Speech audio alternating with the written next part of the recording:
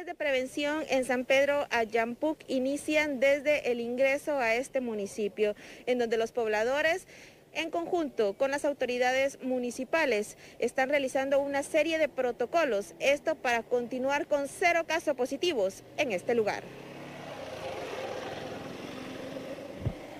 Previo a ingresar, se sanitizan los vehículos y se tiene un estricto control de quienes llegan.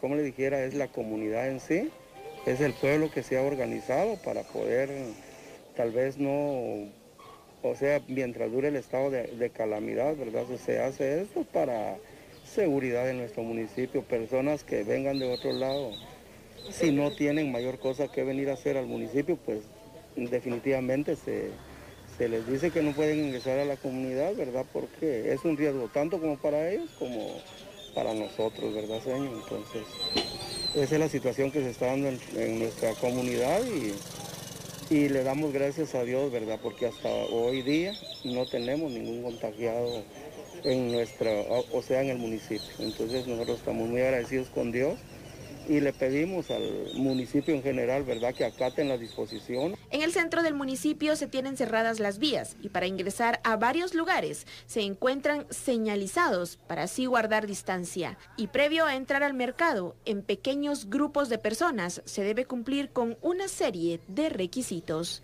Eh, personas mm, de la tercera edad no pueden entrar al mercado, personas que, que vienen acompañados con niños, de igual manera no los no los dejamos entrar y exigirle a los, todos los vendedores que tengan su mascarilla, que usen su gel y tratar la manera de que decirle a las personas que donde nomás compren, pues que se retiren, ¿verdad? Esto es para resguardar la salud de nuestra comunidad.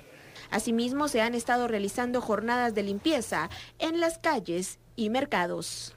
Estas medidas de prevención por parte de los pobladores en conjunto con las autoridades municipales continuarán el tiempo que sea necesario.